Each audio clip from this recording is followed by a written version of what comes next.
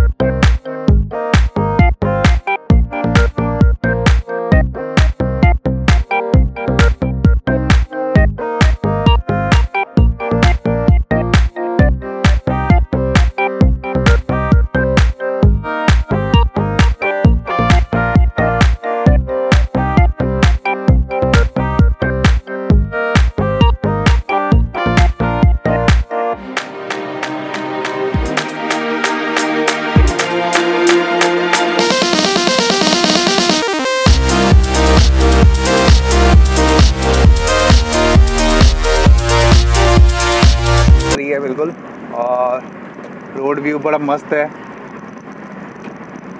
और ड्राइव करने में बहुत मज़ा आ रहा है। मतलब आई एम एन्जॉइंग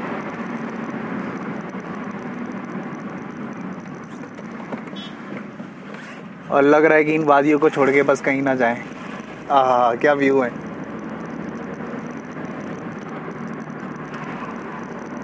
गाड़ी भी कह रही है कि बस चलते जाओ, लेके चले जाओ बस कहीं। पर पॉकेट अलाउ नहीं कर रही है। छुट्टियाँ नहीं मिल रही है। ऐसा क्यों भगवान? क्यों? क्यों हमको फ्री नहीं छोड़ा? क्यों हमको रिलैक्स नहीं है? ये देखो व्यू यहाँ से देखो व्यू मौसम बन रहा है। यस बोलो।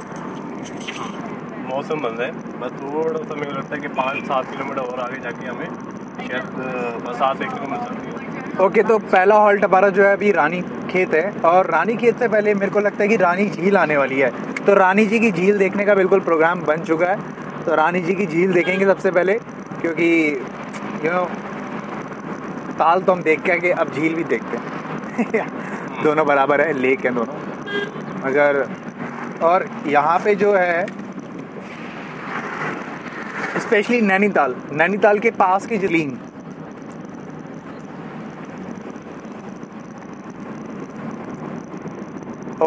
पहाड़ देखिए आप सामने के, बिल्कुल ज़बरदस्त। नेटवर्क बिल्कुल यहाँ काम नहीं कर रहे हैं। मीन्स आ रहे हैं, जा रहे हैं। ठीक है इट्स ओके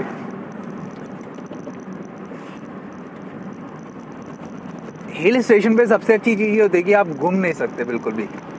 क्योंकि एक ही रास्ता होता है और एक ही रास्ता जाता है। और आपको वही रास्ता फॉलो करना पड़ता है। तो यहाँ पे हमको बिल्कुल भी गूगल मैडम की ज़रूरत नहीं है। यहाँ पे सिर्फ़ आपको ज़रूरत है तो आपको अपने दिमाग की ज़रूरत है बस।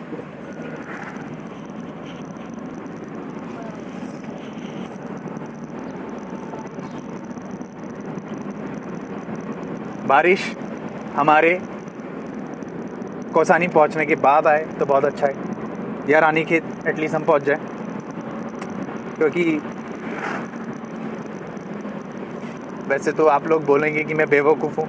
कि मैं ऐसे क्यों बोल रहा हूँ? राइड करने में मज़ा आता है बारिश में भी मगर हमारी मजबूरी है। कि हमारे वाइपर की मेन जो मोटर है वो ख़राब हो गई है। हाँ जी। वो वाइपर चल नहीं पाएगा तो उसकी वजह से हमें जो है पहले देखना पड़ेगा कि बरसात अगर होती है तो रुकना पड़ेगा। बिल्कुल। आगे नहीं। तो ठंड बढ़ती हुई और मौसम का मज़ा लेते हुए और इन वादियों में हम झूमते हुए वाह ये है रानी खेत तो अब आप देख सकते हो रानी खेत का नज़ारा। रानी खेत एकदम मतलब अलग ही फील दे रहा है। और मौसम भी ठंडा है। और थोड़ी ट्रैकिंग भी होगी है। तो यू नो हमने बहुत एंजॉय भी किया। और थोड़ा सा चलते हैं नीचे की तरफ़।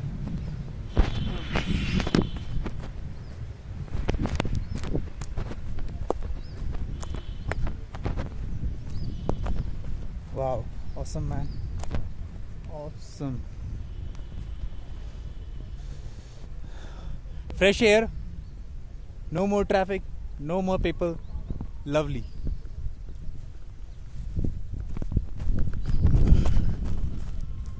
Okay, so guys, this is the way.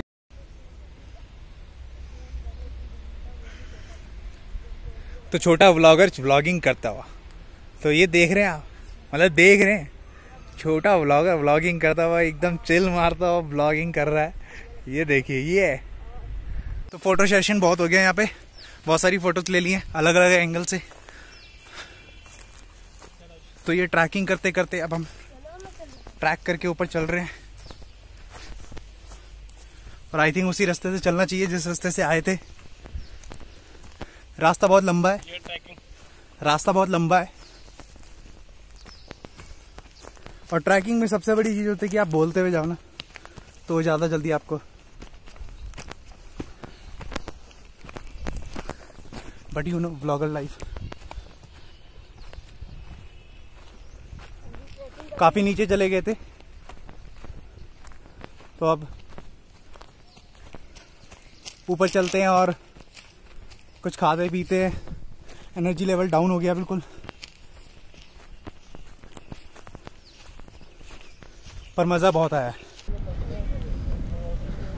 Alright guys तो ये है रानीखेत में गोल्फ गोल्फ कोर्स ये गोल्फ कोर्स है पूरा, और गोल्फ लोकेशन यहाँ पे गोल्फ खेलते हैं लोग। तो बहुत बड़ा है और बहुत ब्यूटीफुल है। तो इसी की वजह से रानी खेत को मिनी स्विट्ज़रलैंड भी कहा जाता है। तो स्पोर्ट्स स्पोर्ट्स से रिलेटेड यहाँ पे आप बहुत सारी एक्टिविटीज़ कर सकते हो। यहाँ पे आप पिकनिक प्लान कर सकते हो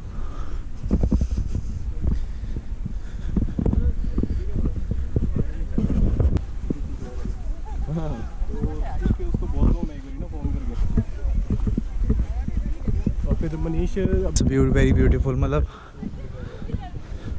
सपोज़ हम जस्ट सपोजिंग कि जब यहाँ पे स्नोफॉल होता होगा तो कितना ब्यूटीफुल लगता होगा ये।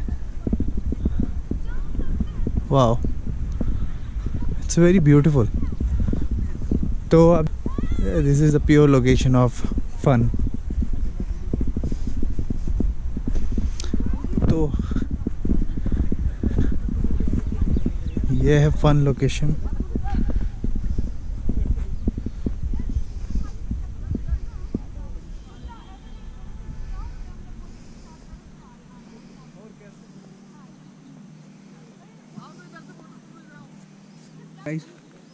तो फन एक्टिविटी फन स्टार्ट और अभी देखते हैं क्या क्या गेम खेलना है।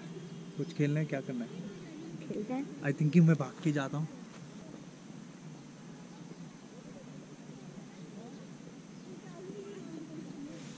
मैं नींद से उठा हूँ मैं सो गया था गाड़ी में। और यहाँ पे बहुत मज़ा आ रही है बहुत बड़ा ग्राउंड है। आपने दिल्ली में जैपनीज़ पार्क देखा होगा नहीं देखा तो गूगल में सर्च करो और फिर बताइए कि ये बड़ा है या वो बड़ा है कमेंट में ज़रूर डाल के बताना। ऑल राइट तो बहुत मेरे को लगता है कि यहाँ बहुत मज़ेदार है और कुछ खेलने के लिए होना चाहिए यहाँ पे कुछ तो करने के लिए होना चाहिए बट हमारे पास नहीं है। कुछ तो प्लान करते हैं। Okay so